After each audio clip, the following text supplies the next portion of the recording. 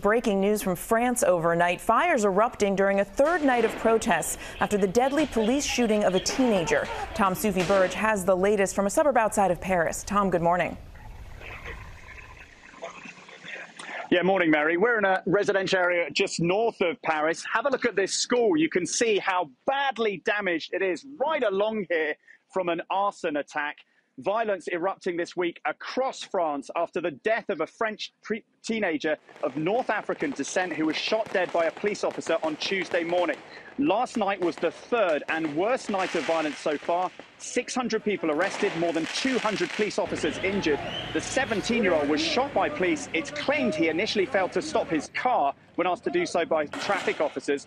Prosecutors have now put the officer who allegedly pulled the trigger under formal investigation for voluntary homicide. President Macron calling the shooting of the teenager inexcusable.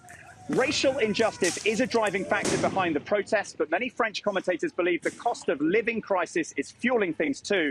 A government crisis meeting is underway right now. There are calls for President Macron to bring in a state of emergency. There are nighttime local curfews already in place to try and quell the violence. Guys? Alarming developments. Tom Soufi Burridge, thank you.